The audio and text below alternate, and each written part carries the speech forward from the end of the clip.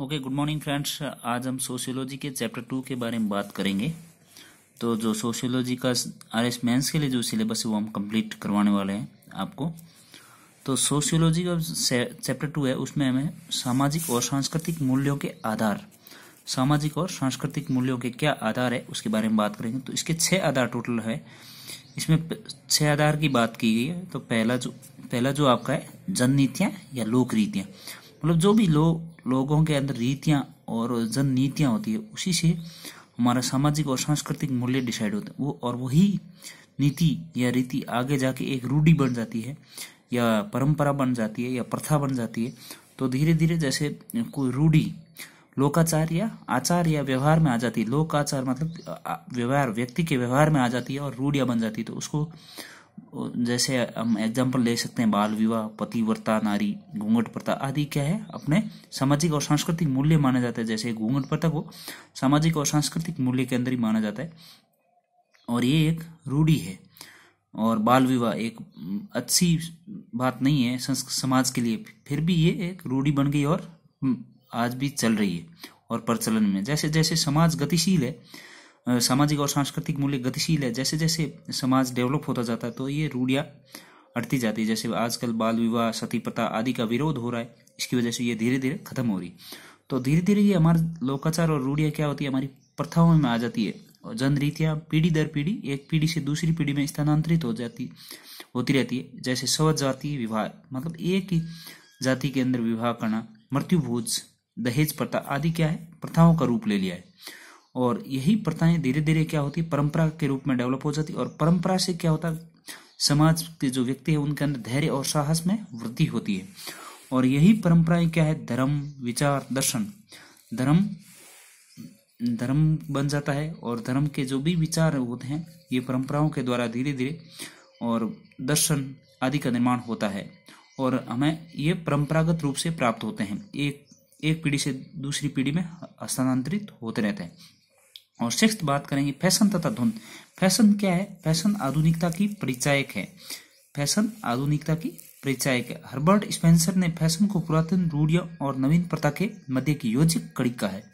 तो फ़ैशन क्या है? पुरातन रूढ़ियों और नवीन प्रथा के मध्य योजक कड़ी का कार्य करती है। तो ये हर्बर्ट स्पेंसर का दोस्तों, नाम मेंशन करना, अगर सामाजिक और सांस्कृतिक मूल्यों का आधार के बारे में बात करें तो हर्बर्ट स्पेंसर का मेंशन करना जब कोई नई डिज़ाइन आती है तो सर्वप्रथम कुछ लोग ही प्रयोग करते हैं। उसे क्या बोलेंगे? धुन कहते हैं। उसे क्या कहेंगे हम? धुन। और यही धुन जब अधिक संख्या में लोगों द्वारा अपना ली जाती तो उसे क्या कहेंगे? फ़ैशन बन जाता है। ओके फ्रेंड्स तो इस तरह हमने बात किया था, सामाजिक और सांस्कृतिक मूल्य। एसएसएम मतलब सामाजिक और सांस्कृतिक मूल्य।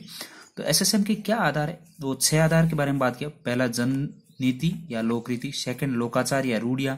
थर्ड प्रथाएँ। फोर्थ परंपराएँ। और सिक्स वन था धर्म, विचार और दर्शन, जो कि हमें परंपरागत रूप से प्राप्त होते हैं। और सिक्स इज़ फ़ैशन तथा धुन। और फ़ैशन आधुनिकता की परिचायक है और हर्बर्ट स्पेंसर ने फ़ैशन को पुरातन रूढ़ियों और नवीन प्रथाओं के मध्य की योजक कड़ी का है।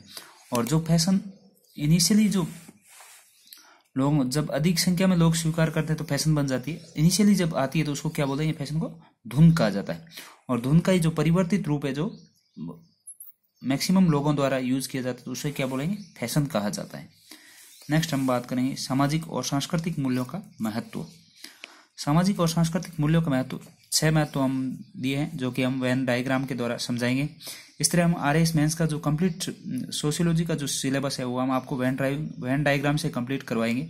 और वैन डायग्राम से क्या होता है? एक तो अपना टाइम बचता है और दूसरा आपके इजीली समझ में भी आ जाता है। और अगर ऐसे ही आप आंसर राइटिंग में लिखेंगे तो इसमें टीचर का भी आकर्षक लगेगा और आपके मार्क्स के चांसेस बढ़ जाते हैं।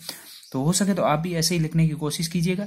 इससे आपके मार्क्स भी बढ़ते हैं और जो याद होता है वो भी इजीली हो जाएगा और समझ में भी आपको अच्छे से आएगा। तो इस तरह हम बात करेंगे सामाजिक और सांस्कृतिक मूल्यों का क्या महत्व है। तो ये क्या है? भौतिक संस्कृति का महत्व को बढ़ाते हैं। जैसे टीवी हो गया, कार हो गया, आदि क्या हो गया, आज के समाज में प्रतिष्ठा के सूचक हो गए। इससे क्या? भौतिक विकास होता है संस्कृति का। और जो भौतिक विकास होता है, उसी से समाज उन्नति करता है। जैसे नए नए इन्वेंशन होते हैं या आविष्कार होते हैं। आदि क्या है? सामाजिक और सांस्कृतिक मूल्यों में जैसे भौतिक संस्कृति होती है तो उसी से नए नए आविष्कार को प्रोत्साहन मिलता है। और समाज में रोज़गार भी बढ़ता है। जैसे कंप्यूटर, मोबाइल्स इनके द्वारा आज के युग में ये ज़रूरत होगी समाज में और प्रतिष्ठा के सूचक के रूप में माना जाता है। जैसे आपके पास कौन सा मोबाइल हैंडसेट यूज़ कर रहे हैं, कौन सा लैपटॉप यूज़ कर रहे हैं, कौन सी कार यूज़ कर रहे हैं। तो इससे क्या है, रोज़गार के साधन भी बढ़े हैं और नई नई मोबाइल टेक्नोलॉजी दिन प्रतिदिन बढ़ती जा रही इससे भौतिक संस्कृति का महत्व बढ़ा है। सेकंड, समाज में एक रूपता आती है। इन्हीं सामाजिक और सांस्कृतिक मूल्यों के द्वारा समाज में एक रूपता आती है। जैसे पहनावा खान पान जैसे कि वेस्टर्न राजस्थान है, इसका पहनावा एक तरह होगा, जैसे यहाँ पे धोती और ये यूज़ करते हैं, पगड़ी वगैरह। तो इससे वेस्टर्न राजस्थान का हम पहनावा बोल सकते हैं, या राजस्थान का पहनावा अपना बोल सकते हैं। खान पान एक ही जो संस्कृति या समाज है, उसका खान पान भी एक ही तरह का होता है। जैसे अपने यहाँ पे राजस्थान में क्या है वेस्टर्न राजस्थान में जाएँगे तो बाजरे की रोटी का यूज़ करते हैं, या फिर वेजिटेरियंस को प्रेफरेंस ज़्यादा दिया जाता है। इससे समाज में एक रूपता बढ़ती है और कोई भी समाज है या जाति है, उसमें एक तरह का खान पान होता है। जैसे कोई भी जाति है, वो वेजिटेरियन है तो वो वेजिटेरियन ही होगी। इस तरह खान पान में एक रूपता पाई जाती है। व्यक्ति व्यवहार व प्रगति में सहायक, ये सामाजिक, सांस्कृतिक मूल्य क्या करते हैं? व्यक्ति के व्यवहार और प्रगति में सहायक होते हैं। व्यक्ति के व्यवहार मतलब समाज को उससे क्या एक्सपेक्टेशन है? कैसा बिहेवियर करेगा ये? और जो प्रोग्रेस है उसमें सहायक होता है। समाज उसको मार्गदर्शक के रूप में कार्य करता है, सामाजिक और सांस्कृतिक मूल्य उसके लिए। और व्यक्ति की सामाजिक भूमिका का निर्धारण करते हैं। व्यक्ति से समाज को क्या एक्सपेक्टेशन है? ये उसकी भूमिका का निर्धारण करते हैं, सामाजिक और सांस्कृतिक मूल्य। नेक्स्ट वन हम बात करेंगे व्यक्ति विशेष परिस्थिति में अपना सामाजिक उत्तरदायित्व तो कैसे पूर्ण करता है और समाज कैसी अपेक्षा करते हैं? जैसे एक पिता होने के नाते, पिता से क्या अपेक्षा की जाती है बेटे के लिए? उसको एजुकेशन देना है, उसका विकास करना है, आदि और। बेटा होने के नाते पिता के प्रति उसका क्या दायित्व बनता है? जैसे बुढ़ापे में पिता की सेवा करना, ये सभी सामाजिक और सांस्कृतिक मूल्यों के द्वारा निर्धारित होते हैं और ये समाज कैसी अपेक्षा करता है? वो व्यक्ति को उसी के, उसी की तरह निभाना चाहिए। यही हमारे सामाजिक और सांस्कृतिक मूल्य का महत्व है। सिक्स हम बात करें, सामाजिक नियंत्रण व्यक्ति पर स्थापित होता है। व्यक्ति पर समूह या समाज नियंत्रण स्थापित करता है। उसका निश्चित आचरण या निश्चित आचरण का निर्धारण होता है, दबाव बनाकर। तो ये सामाजिक और सांस्कृतिक मूल्य उस पर दबाव का कार्य करते हैं। दबाव मतलब उसको निर्धारित करते हैं कि ये ऐसा ही बिहेव करेगा। समय अनुसार परिवर्तित मूल्यों को अपनाना। जैसे समय के अनुसार मूल्य भी सामाजिक और सांस्कृतिक मूल्य भी परिवर्तित होते जाते हैं।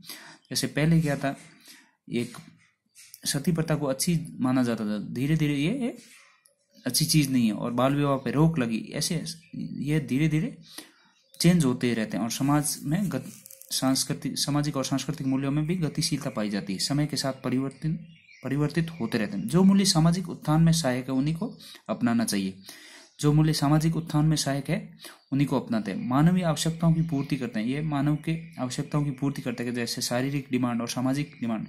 शारीरिक मतलब बचपन में जैसे बच्चे का पालन पोषण, ये सब किया जाता है पिता उसकी, जो भी डिमांड है उसकी पूर्ति करता है। और सामाजिक रिक्वायरमेंट्स भी, जो भी समाज से रिक्वायरमेंट है, वो सभी पूरी करती है। और व्यक्तित्व का निर्माण करता है। समाज में विद्यमान धर्म, दर्शन, कला, साहित्य आदि को सामाजिकरण के माध्यम से ही सीखता है। तो व्यक्तित्व का निर्माण होता है। इससे क्या है? कैसे बिहेव करना है, धर्म, दर्शन आदि को व्यक्ति समाज से ही सीखता है और ये सामाजिक और सांस्कृतिक मूल्य के रूप में कार्य करते हैं। व्यक्तियों में भिन्नता समाज व संस्कृति के कारण ही अलग अलग समाज में अलग अलग तरह की प्रकृति पाई जाती है और संस्कृति अलग अलग है वेस्टर्न कल्चर अलग है और इंडियन कल्चर अलग है। इस तरह से व्यक्तियों में भिन्नता पाई जाती है। तो ये भी डिसाइड कौन करता है? सामाजिक और सांस्कृतिक मूल्य। इस तरह हमने सामाजिक और सांस्कृतिक मूल्यों में, मूल्यों के महत्व के बारे में बात किया तो ये छह महत्व है। पहला भौतिक संस्कृति का महत्व। भौतिक संस्कृति को बढ़ावा देता है समाज में एक रूपता आती है व्यक्ति का व्यवहार और प्रगति में सहायक है और व्यक्ति से समाज सम, व्यक्ति की सामाजिक भूमिका में निर्धारण करता है और व्यक्ति विशेष परिस्थिति में अपना सामाजिक उत्तरदायित्व तो कैसे पूर्ण करता है और समाज में कैसी अपेक्षा की जाती है और सामाजिक नियंत्रण व्यक्ति पर स्थापित होता है। और इस तरह हम बात कर सकते हैं कि ये मूल्य परिवर्तित होते रहते हैं और सामाजिक उत्थान में सहायक है और मानवीय आवश्यकताओं की पूर्ति करते हैं और व्यक्तित्व का निर्माण करते हैं और व्यक्तियों में भिन्नता समाज व संस्कृति के कारण ही है। तो हमने बात किया ये सामाजिक और सांस्कृतिक मूल्यों का महत्व, और उससे पहले बात किया था सामाजिक और सांस्कृतिक मूल्यों के आधार। एस एस एम क्या था सामाजिक और सांस्कृतिक मूल्य। तो इस तरह हमारे चैनल से जुड़े रहने के लिए प्लीज़ हमारे चैनल को लाइक और शेयर करें। हम आपको समाज शास्त्र का complete syllabus for R S mains करवाएँगे। तो हमारे चैनल से जुड़े रहिए प्लीज़। Thank you.